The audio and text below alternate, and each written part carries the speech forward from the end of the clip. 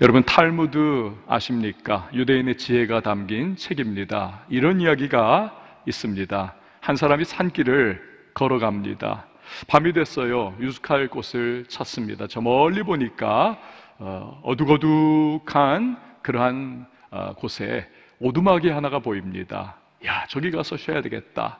폐가입니다. 당나귀와 개를 문 앞에 묶어놓고 안에 들어갔습니다. 잠이 잘 오지를 않아서 램프를 켜고 책을 읽어보려고 합니다. 그런데 조금 있다가 깨진 유리창 사이로 갑자기 바람이 확 불어닥칩니다. 램프가 꺼집니다. 아유, 못 있겠다. 책을 덮어버리고 잠을 청합니다. 아침에 일어났습니다. 개가 짖는 소리가 들려야 하는데, 당나귀가 우는 소리가 들려야 하는데, 너무 조용합니다. 웬일이지? 기지개를 펴면서 문을 열어보았습니다. 그런데 보니까 뼈다귀만 남아 있습니다. 밤새 굶주린 사자가 내려와서 당나귀와 개를 잡아먹은 겁니다. 너무너무 속상했습니다. 얘네가 내가 가진 모든 것이었는데, 마음이 난감하고 또 절망감까지 들었습니다. 먼 길을 내가 이제는 타고 갈 게 없구나. 할 수 없이 짐을 챙겨서 터벅터벅 그 산길을 걸어갑니다. 얼마를 가다 보니까 마을이 나왔습니다. 깜짝 놀랐어요. 마을의 모든 주민들이 다 죽어 있는 겁니다. 지난밤에 산적대가 급습을 해서 마을을 쑥대밭으로 만들어 놓았던 것입니다. 그는 한숨을, 안도의 한숨을 쉽니다. 만약에 어젯밤에 램프가 바람에 꺼지지 않았다면 그 불빛에 의해서 나도 산적대에게 죽었겠지. 개가 짖었다면, 당나귀가 울었다면, 그 사자가 잡아먹지 않았다면 나도 그들에게 죽고야 말았겠지. 여러분 결국 모든 것을 잃었지만 덕분에 가장 소중한 목숨을 건질 수가 있었다는 것이죠. 우리가 살다 보면 귀중한 것들을 잃을 때가 있습니다. 어떤 분은 건강을 잃습니다. 명예를 잃는 분도 계십니다. 물질을 잃고 일터를 잃어버리는 분들도 계십니다. 인생의 귀중한 목표와 꿈을 잃어버리는 분도 계십니다. 심지어는 사랑하는 사람을 잃어버리는 그런 분들도 계십니다. 그럴 때 마음에 인생의 문이 쾅 닫히는 것과 같은 느낌을 받습니다. 하지만 그때 우리가 꼭 기억해야 할 것이 있습니다. 하나님은 우리 앞에 얼마든지 새로운 문을 여실 수가 있는 분이라는 사실입니다. 오늘 본문은 바로 그것을 체험한 한 부부의 이야기로 시작을 합니다. 1절 말씀을 한번 보시기를 바랍니다. 그 후에 바울이 아덴을 떠나 고린도에 이르러 우리는 지난 시간 사도 바울이 철학의 도시죠. 아덴, 오늘날의 아테네에서 예수 그리스도의 죽으심과 부활의 복음을 전했던 것을 살펴보았습니다. 이제 그는 남서쪽으로 내려와서 고린도의 복음을 전합니다. 당시 로마 식민지였던 고린도는 인구가 약 8만 명 정도 살고 있었던 항구 도시입니다. 항구 도시. 그 선상에서의 오랜 압박감과 그리고 꽉 짜여져 있는 그러한 생활을 하다가 몇 달 만에, 어쩌면 몇 년 만에 땅을 밟은 선원들 마음이 확 풀어지고 들이마시고 하여튼 뭐 소위 주먹질을 하는 그러한 난장판이 이루어지는 곳. 그 술이 막 그냥 오고 가고 음란과 방탕이 건화하게 그렇게 지척지척거리면서 눈에 그냥 보이는 곳이 바로 항구가 아닙니까? 그런데 고린도에는 항구가 무려 두 개나 있었습니다. 그러니 타락의 정도가 다른 항구 도시보다도 더 극심했던 것이죠. 게다가 이곳에는 높은 곳에 그 유명한 아프로디테 신전이 있었습니다. 아프로디테가 누구입니까? 사랑의 여신입니다. 비너스라고도 하지 않습니까? 자, 이 우상을 섬기는 도시답게 신전 안에는 무려 1천 명이 넘는 성전의 장녀들이 있었습니다. 그들이 전국 각지에서 몰려드는 숭배자들과 음란의 향연을 벌이는 것입니다.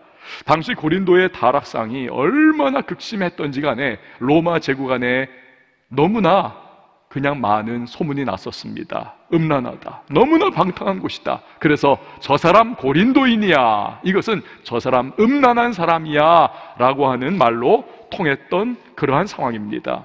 이런 방탕한 도시에 복음을 전하는 것은 베테랑 중에 베테랑인 사도 바울 역시도 마음속에 스트레스를 많이 받는 부담이 너무나 심했던 일임에 틀림이 없습니다. 훗날 그가 고린도 교인들에게 써보낸 편지에 그때의 심정이 잘 표현이 되어 있습니다. 고린도전서 2장 3절 말씀 보면 내가 너희 가운데 거할 때에 약하고 두려워하고 심히 떨었노라. 여러분 누굽니까? 바울입니다. 얼마나 담대한 사람이고 얼마나 그는 용감한 사람입니까? 복음 위해서 모든 것을 다 헌신한 사람. 이게 바울인데 베테랑 중에 베테랑 선교 지도자인데 그가 말하는 거예요. 나는 약했다. 나는 그때 두려워했다. 심지어 나는 너희 가운데서 너무너무 떨었다.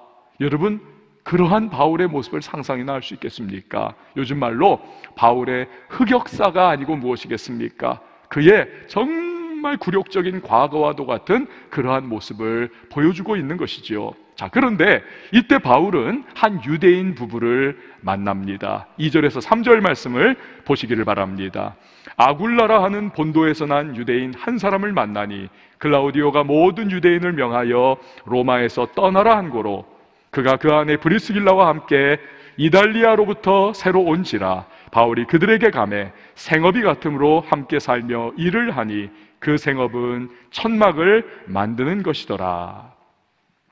AD 49년에 로마의 황제 글라우디오는 유대인들을 이 로마 안에 거주하는 유대인들을 다 쫓아내는 추방령을 선포를 합니다. 유대인들로 인해서 야기된 몇몇 소요 사태로 말미암아 로마 시민들이 위태한 충격을 받았기 때문에 그렇습니다. 그 당시 제국의 수도 로마는 전 세계 어디서도 누릴 수 없는 치안이 잘 확립이 되어 있었습니다. 최고의 환경이었습니다. 문화가 융숭하고 번창한 도시였죠. 안락함의 대명사였습니다. 이런 로마에서 잘 살고 있었는데 유대인이라고 하는 한 가지 이유 때문에 여기서 하루아침에 삶을 접고 쫓겨난다. 이건 그들에게 너무나 충격적인 사건이 아닐 수 없었습니다. 본문에 나오는 아굴라와 브리스길라 부부 역시 마찬가지였습니다. 학자들에 의하면 이들은 천막 제조와 가죽 수공업 회사를 운영하면서 돈을 그냥 쫙 긁어모으는 굉장히 부유하게 잘 살고 있던 사람들이다. 근데 하루아침에 강제로 사업을 접고 로마를 떠나야 하는 것입니다. 남편인 아굴라라고 하는 분은 원래 로마가 아닌 본도 출신입니다. 폰투스라고 하는 이 본도 출신 유대인입니다. 그러니 원래 로마에 이주해서 살았으니 쫓겨나도 어느 정도 마음의 상쇄가 되는 겁니다. 그럴 수도 있지 뭐. 그러나 그 아내인 브리스기라는 다릅니다. 그녀는 로마의 명문 가문 출신입니다. 아주 부유한 이곳에서 자라고 이곳에서 결혼 생활하고 이곳에서 평생을 살아온 그야말로 로마의 토박이 중에 토박입니다. 여러분 우리가 종종 그런 거 보지 않습니까? 강남에서 태어나고 강남에서 자란 그러한 애들은요 강남 떠나면 죽는 줄 압니다. 그 청년이 돼서도 늘 거기서 살려고만 하고 결혼을 해도 강남에서 살아 살아야만 하는 것으로 알고 있습니다. 가정 형편이 갑자기 어려워져 가지고 좀 떠나도 나중에는 어떻게 해서라도 다시 그곳으로 돌아가 살고자 하는 것을 보고는 합니다. 그렇다면 여러분 강남 정도 아닙니다. 전 세계의 가장 화려한 도시, 안락한 도시, 가장 문명과 발전한 그러한 도시였던 로마. 이곳에서 태어나고 자라고 평생을 살아온 브리스길라야 오죽하겠습니까? 유대인 남편과 살고 있다는 죄 아닌 죄 때문에 로마에서 쫓겨나는 겁니다. 사업의 터전이자 인생의 터전인 로마에서 추방되는 이들 부부에게는 그 순간이 마치 인생의 문이 쾅 하고 닫히는 것과 같은 그런 느낌이 되었을 것입니다. 그러나 닫힌 문을 뒤로 하고 쫓겨온 곳 이곳 고린도에서 하나님은 그들에게 새로운 문을 열어 주십니다. 그것은 바로 위대한 하나님의 사람 사도 바울을 만나게 되더라는 것입니다. 유대인들은요, 전통이 있습니다. 자식들에게 이 자식이 위치가 어떻든 신분이 어떻든 상관없습니다. 반드시 먹고 살 수 있는 기술 하나는 가르쳐 주는 것이 이 유대 사회의 전통입니다. 그래서 자식에게 기술을 가르쳐 주지 않는 부모는 도둑질을 가르쳐 주는 것과 같다라고 하는 격언이 돌 정도였던 것입니다. 바울의 부모도 마찬가지였습니다. 바울은 부모로부터 천막을 제조하는 기술을 전수를 받았습니다. 이건 그 당시에 굉장히 유용한 기술이었습니다. 달랑 혼자 고린도에 온 바울은 거기에 지인이 없지 않습니까? 후원자가 큰 사람도 없었습니다. 그러니 당장 입에 풀칠해야 복음도 전하고 선교도 하지 않습니까? 막 여기저기 수소문을 한 거죠. 어디 내가 일할 수 있는 천막 제조 공장이 없는가? 여기저기 들쑤셔 봤는데 딱 들려오는 소리가 로마에서 아주 크게 천막 제조 사업을 하고 있던 아굴라 부부라고 하는 사람들이 이 디오글리오의 그 선포 때문에 지금 쫓겨서 고린도에 왔는데 새롭게 가게를 오픈을 했다더라. 거기 가면 일할 수 있지 않겠는가? 그래가지고는 찾아 찾아가지고 아굴라 부부를 만났습니다. 대화를 해봤겠죠. 의기투합이 됐습니다. 함께 일합시다. 그래가지고 악수를 하고 그때부터 함께 살면서 일을 하게 되었습니다. 이 과정에서 바울은 예수가 구약 성경에서 선지자들이 계속해서 예언했던 바로 그 메시아, 바로 그 메시아이고 이 예수의 죽으심과 부활을 믿는 자에게 하나님이 영원한 생명을 주셔서 그의 백성이 된다라고 하는 복음의 메시지를 전했습니다. 이들 부부가 예수님을 영접했고 그때부터 바울의 신실한 동역자요 성경에 나오는 가장 아름다운 부부의 모습을 보이는 자들이 됩니다. 그래서 지금까지의 인생, 이 인생의 가치를 훨씬 뛰어넘는, 아니, 비교할 수 없는 그러한 복된 인생의 시작을 거린도에서 그들이 시작하더라는 것입니다. 만약에 인생의 문이 닫히지 않았다. 그렇다면 그들은 여전히 율법에 얽매인 채 그것이 전부인 줄 알다 그렇게 멸망하는 인생으로 맺을 수밖에 없었을 것입니다. 여러분, 우리 중에서 그런 분들이 계시죠. 병들었습니다. 너무너무 고통스럽습니다. 어디서도 도움을 못 얻어요. 그래서 예전에 내가 전도를 받았습니다. 예수님은 치유자시다. 그래서 나도 한번 교회 가봐야지. 그 교회를 그 병 때문에 신음하면서 와서 그 병 때문에 예수 믿고 신앙생활 하면서 이제는 야, 내가 병 걸려서 예수 믿게 된 것이 얼마나 감사한지 모르겠다. 그런 고백을 하는 분들이 정말 한국 교회 안에, 우리 교회 안에도 계십니다. 사업을 열심히 했지만 하루아침에 사업이 부도가 나 버렸습니다. 이제는 방법이 없습니다. 천부여 의지 없어서 손 들고 옵니다. 주나를 박대하시면 나 어디 가리까? 그래서는 울며 울며 교회에 와서 기도하고 예배하다가 주님 만났습니다. 그래서는 그때부터 신앙생활하고 하다 보니까 야 사업이 망했기에 다행이지 내가 돈 잘 벌고 잘 나가고 술 먹고 내가 음란 방탕하면서 그렇게 살았다면 나 여기서 조금 이렇게 잘 나가다가 영원한 멸망 가운데 빠질 텐데 하나님 감사합니다 신앙 고백하는 분들이 참 많이 계십니다 여러분 인생이 아예 그냥 계획이 다 무너져 본 그런 분들이 계십니다 그래가지고는 주님 앞에 그 아픈 가슴을 부여잡고 나와서 신앙생활 시작하신 분들이 의외로 많이 계십니다. 그러므로 지금 내가 처한 상황을 인간적인 세상적인 시각으로만 판단하면 안 되는 것입니다. 닫힌 문이십니까? 그러나 그 닫힌 문 이후에 하나님은 우리의 닫힌 문을 생각지도 않게 하시는 잊어버릴 정도로 정말로 놀랍고 은혜가 넘치는 열린 문을 우리 앞에 놓아두시는 하나님이심을 여러분 믿으시기를 바랍니다. 영국에 로버트라고 하는 아이가 있었습니다. 얘는 몸이 너무 약해요. 그래서 늘 침대에 누워서 병아리를 했습니다. 너무 아픈 거예요.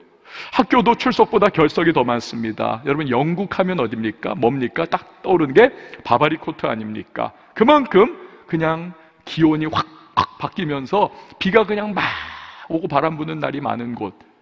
그러니까 이 아이는요, 바람이 확 불고 그러면 그 바람에 막 그냥 휩쓸려 다니는 아이입니다. 그러니까 그 휘청휘청하는 모습을 보면 이 동네 어른들이 늘 수근수근대요. 예, 제 로버트는 쟤는 오래 못 살 거야. 쟤는 얼마 못 살게 될 거야. 아이, 불쌍하지. 이 아이는요, 학교 가지 못하고 아파서 침대에 누워있으면 너무 심심하지 않습니까? 할 수 있는 게 없잖아요. 그러니까 상상을 하기 시작합니다. 생각을 하기 시작해요. 상상의 나래를 펴면 어디든지 갈 수 있고 누구든지 될 수 있고 무엇이든지 할 수 있는 겁니다. 해적선을 타고 모험을 하는 해적이 될 수도 있고 보물섬을 쫓아가면서 거기서 보물을 캐내는 그러한 탐험가도 될 수가 있고 하여튼 기이한 일들을 경험할 수 있는 그러한 상상의 나래가 다 펼쳐지는 겁니다. 그러다가 이 아이가 이제 몸이 조금 좋아져서 학교를 가면 아이들에게 자기가 상상했던 이야기들을 해주는 겁니다. 그러면 애들이 와 재밌다 하면서 귀가 쫑긋해가지고 애 여기 쫙 몰려들어서 그 이야기를 눈을 반짝반짝거리면서 듣는 겁니다. 그러니까 이 아이는 점점 상상하면서 그렇게 이야기를 만들어내는 그러한 자동적인 훈련을 하는 겁니다. 나이가 점점 찼습니다. 청년이 됐습니다. 성인이 됐습니다. 훗날 장성했을 때 그는 어릴 때 상상했던 이야기들을 책으로 만들어냅니다. 일약 유명한 소설가로 급부상합니다. 그의 책은 시대와 세대를 거슬러서 초월해서 지금도 우리에게 엄청난 사랑을 받습니다. 그의 이름은 로버트 스티븐슨입니다. 바로 보물섬, 지킬과 하이드 씨의 저자입니다. 여러분, 그에게 건강이라고 하는 것은 닫힌 문과도 같았습니다. 그러나 그 닫힌 문 뒤에 상상력과 소설이라고 하는 열린 문이 그의 앞에 기다리고 있었던 것이죠. 사랑하는 여러분, 혹시나 지금 물질의 문이 닫혀 있는 분 계십니까? 건강의 문이 닫혀 있는 분 계십니까? 인생의 목표와 꿈과 비전, 내가 정말 바라고 내가 열심히 모든 것을 정말 헌신하고 있었던 내 삶의 계획들, 그 문이 닫힌 그런 분 계십니까? 사업과 직장의 문, 결혼의 문이 닫혀 있는 분이 계십니까? 아니, 인생 자체가 자체가 닫힌 문이 되어 있는 분이 계십니까? 여러분 그러나 절대로 실망하거나 절대로 낙심 가운데 좌절하거나 포기하지 마시기를 바랍니다. 왜요? 하나님은 반드시 그 닫힌 문은 비교할 수 없는 우리를 향하신 정말 귀중한 열린 문을 준비하고 계시는 분이 좋으신 하나님이심을 믿으시기를 바랍니다. 우리가 해야 하는 것은 합력해서 선을 이루시는 하나님의 선하심을 신뢰하면서 믿음으로 한 걸음 한 걸음 나아가는 겁니다. 아파도 답답해도 마음 쥐어짜는 괴로움이 있어도 하나님은 반드시 나를 위해서 열린 문에 예비하신 은혜를 베풀어 두고 계신 분이야. 이 믿음의 고백을 하시면서 오늘의 발걸음을 내디시고 오늘의 땀방울을 흘리시고 오늘의 인생의 한 걸음을 내디시기를 바랍니다. 그럼 반드시 주님의 때에 주님의 방법으로 새로운 인생의 문을 활짝 열어 주실 때가 있을 줄 믿습니다. 바울은요, 평일에는 그런 아굴라 부부와 천막 제조를 하면서 생활비를 마련을 합니다. 그리고는 안식일이 되면 회당에 가서 예수 그리스도의 교훈을 가르치고 권면을 했습니다. 오늘날에는 이런 식의 선교를 뭐라고 합니까? 소위 자비량 선교라고 합니다. 영어로는 tent maker mission, tent maker mission이라고 합니다.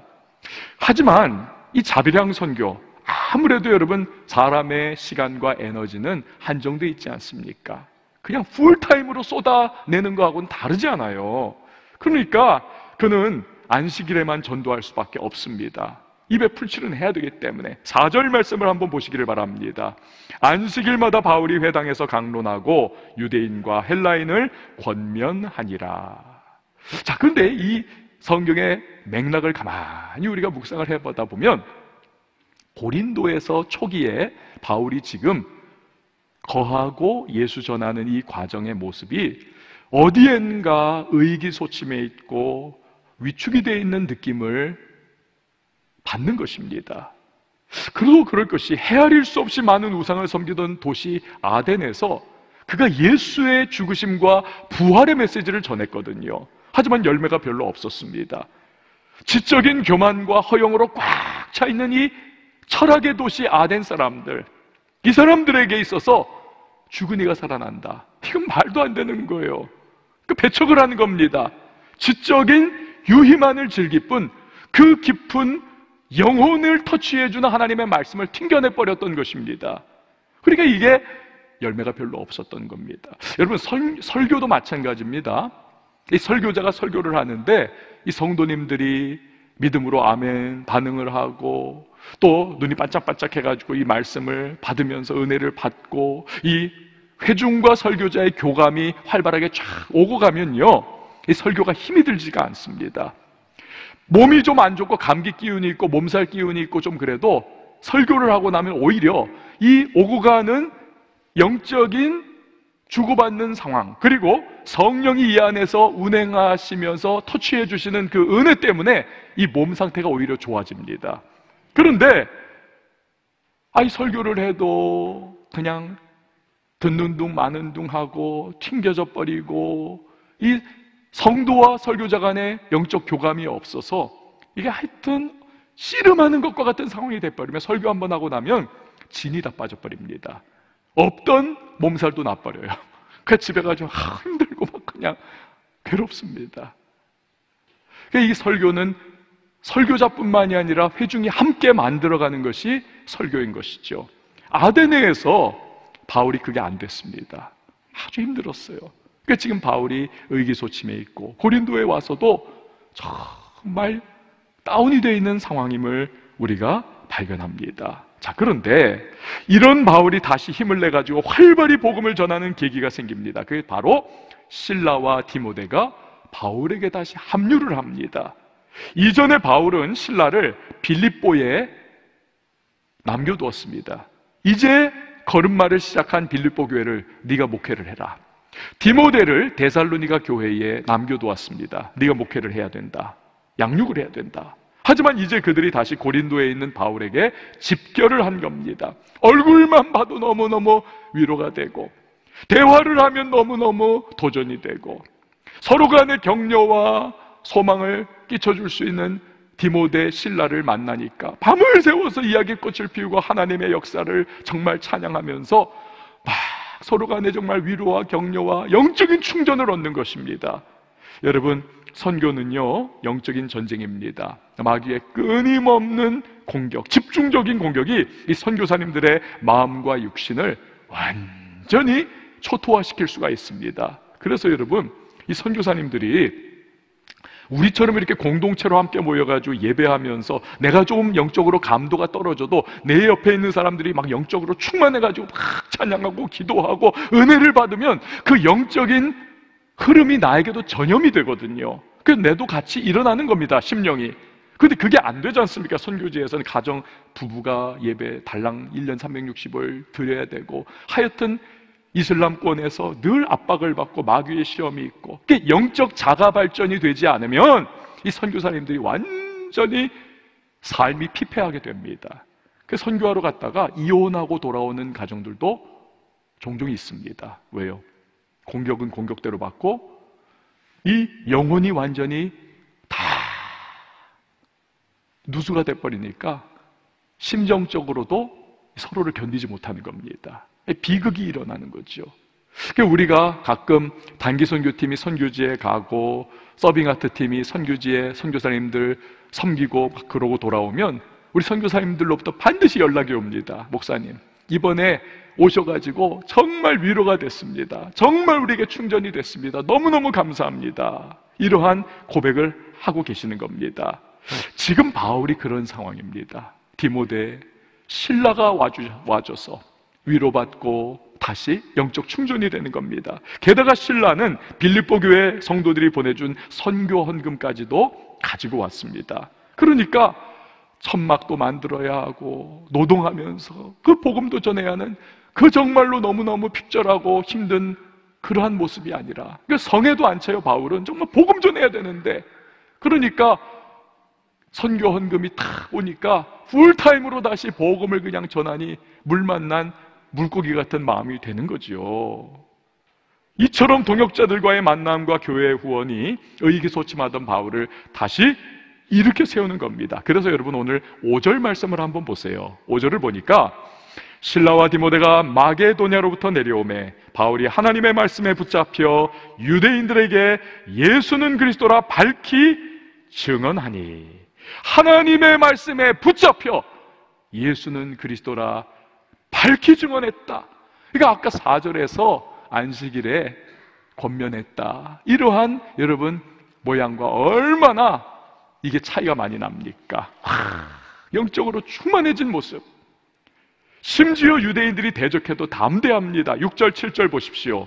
그들이 대적하여 비방하거늘 바울이 옷을 털면서 이르되 너희 피가 너희 머리로 돌아갈 것이요 나는 깨끗하니라 이후에는 이방인에게로 가리라 하고 거기서 옮겨 하나님을 경외하는 디도 유스도라 하는 사람의 집에 들어가니 그 집은 회당 옆이라.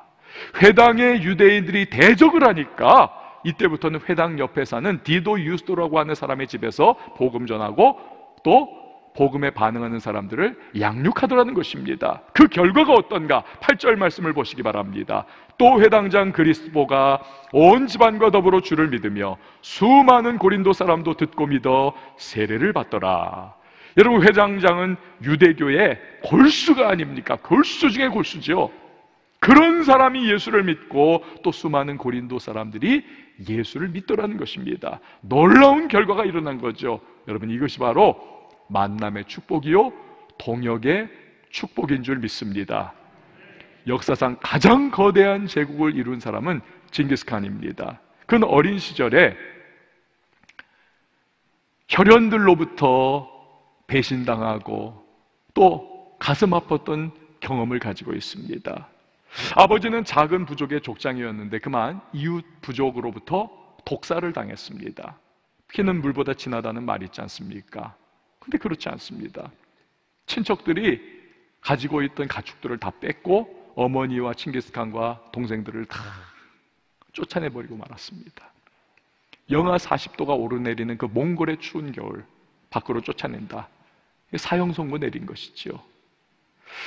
그러나 살아남았습니다. 아홉 살 때 겪은 이 일이 자칫하면 칭기스칸의 마음에 각인을 줬을 수도 있습니다. 사람이란 믿을 존재가 아니다. 반드시 내가 마음에 칼을 두고 사람은 대해야 된다. 이럴 수 있지 않습니까? 내 상을 입었으니까. 그러나 그는요, 그러지 않습니다. 핏줄이 아니라 고난 속에서 도움과 우정을 베풀어준 사람들과의 이 관계에 초점을 맞추기 시작합니다.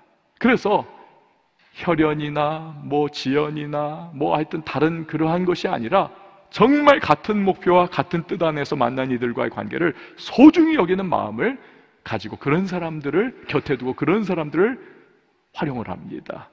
그러니까 이 칭기스칸이 대제국을 이룰 수 있었던 이유 중에 하나는 바로 폐쇄적인 만남이 아니라 그런 개방적인 만남을 기반으로 한 용병술이었던 것입니다. 여러분 좋은 만남이 이렇게 중요합니다. 그래서 세상 사람들도 어떻습니까? 인맥 관리 철저히 하잖아요. 사업하시는 분들 사람들 얼마나 중요하게 여깁니까? 정말 노력을 다하는 겁니다. 영적인 세계에서도 좋은 만남은 엄청난 역사를 만들어냅니다. 종교개혁을 보십시오. 루터와 쯔빙글리라고 하는 이 두 분은 종교개혁의 양대 산맥입니다. 여러분 사진의 왼쪽이 루터고 오른쪽이 쯔빙글리입니다. 태어난 것도 7개월 차로 태어난 동시대에 그 로마 카톨릭에 대한 정말 문제의식을 가지고 이 종교개혁을 위해서 그렇게 애썼던 두 분입니다. 그런데 이 두 분이 만나기만 하면 사소한 신학적인 문제로 개와 고양이처럼 앙숙이 되는 겁니다. 늘 다투고 깨지고. 어느 날도 또 다투던 이 둘은 머리도 식힐 겸 둘이서 같이 산책을 산길로 갑니다. 그러다가 뜻밖의 재밌는 광경을 봅니다. 외나무 다리가 있는데 양쪽에서 염소 두 마리가 각기 다른 방향에서 건너가려고 하는 겁니다. 야, 이 저 염소들이 성질들이 더러우니까 저것들이 분명히 뿔로 받으면서 난리법석을 부리고 한 마리를 빠뜨리려고 하겠지. 근데 웬걸요? 두 마리가 양쪽에서 이렇게 오다가 딱 마주치는 그 순간 한 마리가 다소곳이 무릎을 꿇고 엎드립니다. 그래서 다른 염소가 콱 밟고 그냥 지나가는 것이 아니라 살짝 밟는 동만으로 석 뛰어서 가더라는 것입니다. 그러니까 엎드렸던 놈이 다시 일어나 가지고는 자기가 가던 길을 마저 가더라는 겁니다. 그 모습을 바라보면서 이 두 사람이 마음의 도전을 받습니다. 말 못하는 미물도 저렇게 서로 협력할 줄 알거든. 우리가 하나님을 위하고 종교개혁을 한다고 하면서 이렇게 사소한 신학적 문제로 이렇게 늘 치고받고 하면서 개고양이처럼 싸워서야 되겠는가? 여기서 이분들이 회개를 하고 둘이 종교개혁의 뜻을 맞추고 협력하여 그들이 그렇게 전진해 나갑니다. 만약에 이 두 분이 그렇게 협력을 하지 못했다면 종교개혁은 이루어지지 않았을지도 모르는 것입니다. 사랑하는 여러분, 여러분은 동력의 축복, 만남의 축복을 누리고 계십니까? 그 만남을 가지면 정말 마음에 용기가 생기는 만남, 그런 만남 가지고 계신가요? 그 만남을 가지면 좌절되었고 절망에 빠졌던 심령이 위로를 받는 그런 마음 여러분 가지는 만남이십니까? 믿음이 자꾸 상승하는 그런 만남을 여러분 갖고 계신가요? 그 만남을 가지면 아 정말 내가 하나님 앞에 더 기도해야 되겠다. 예배 내가 더 열심히 해봐야 되겠다. 성경 읽고 열심히 내가 해봐야 되겠다라는 그런 도전을 받는 만남을 가지고 계십니까? 주님의 선한 사업을 위해서 파이팅 할 그런 마음을 갖게 하는 그런 만남을 여러분 가지고 계신가요? 아니면 그 만남만 갖고 나면 메가리가 빠져요. 힘이 빠져요. 용기가 사라져요. 그 만남만 가지면 믿음이 막 그냥 빠져나가는 술술 누수되는 느낌이 나십니까? 그 만남만 가지면 하나님과 점점 더 멀어지는 그러한 후폭풍을 경험하는 그러한 만남을 여러분 혹시 경험하는 건 아닙니까? 교회에 대해서, 교인에 대해서 그냥 만나기만 하면 가십이나 나누면서 궁시렁궁시렁 부정적 생각 들게 하는 그런 만남은 혹시 아닙니까? 여러분 제가 늘 말씀드리지만 사람과 사람이 만나면 역사가 일어납니다. 그렇죠? 사람과 사람이 만나면 그 위대한 전도자 바울조차도 여러분 외롭고 지치고 그냥 의기소침해 있었지만 그 디모데와 신라와의 만남을 통해서 용기를 얻지 않습니까? 힘을 내지 않습니까? 사랑하는 여러분, 하나님은 만남을 통해서 우리에게 복을 주심을 믿으시기를 바랍니다. 그러니까 우리가 만남의 축복을 위해서 늘 기도해야 하는 이유가 거기에 있습니다. 사업을 하십니까? 좋은 사업 파트너를 만날 수 있도록 여러분 기도 많이 하십시오. 학생이십니까? 좋은 스승을 만나기를 여러분 기도 많이 하십시오. 청년이십니까? 좋은 믿음의 배우자를 위하여 여러분 그 만남을 놓고 기도를 많이 하시기를 바랍니다. 여러분 직장인이십니까? 좋은 상사와 동료와 후배를 만날 수 있도록 기도를 많이 하시기 바랍니다. 노년이신가요? 내가 이제 다 살았는데 무슨 뭐 만남 그거 뭐 필요한가? 아니요. 노년에 꽃뱀 잘못 만나가지고 인생 완전히 그냥 엉망진창 되는 사람 많습니다. 노년에 사기꾼 만나가지고 진짜 고생하는 분들도 많이 계시는 것입니다. 여러분, 한마디로 이 만남의 축복은 우리의 평생의 기도의 제목이 되어야만 하는 것입니다. 주여, 나에게 다윗과 요나단과 같은 만남 되게 하여 주시옵소서. 다니엘과 새 친구의 만남과 같은 만남이 끊이지 않게 하여 주시옵소서. 여러분 9절에서 11절 말씀을 한번 보세요. 밤에 주께서 환상 가운데 바울에게 말씀하시되 두려워하지 말며 침묵하지 말고 말하라. 내가 너와 함께 있음에 어떤 사람도 너를 대적하여 해롭게 할 자가 없을 것이니 이는 이 성중에 내 백성이 많음이라 하시더라. 1년 6개월을 머물며 그들 가운데서 하나님의 말씀을 가르치니라. 아멘. 사람과 사람이 만나면 역사가 일어납니다. 그러나 사람이 하나님과 만나면 기적이 일어남을 믿으시기를 바랍니다. 오늘 바울이 하나님을 만나지 않습니까? 하나님이 그를 환상 중에 찾아오시지요. 그리고는 위로해 주십니다. 격려해 주십니다. 바울아, 이 고린도에서 너가 복음 전할 때 두려워하지 마. 내가 너를 보호해 줄 거야. 내가 너를 생명사계 속에 지켜 줄 거야.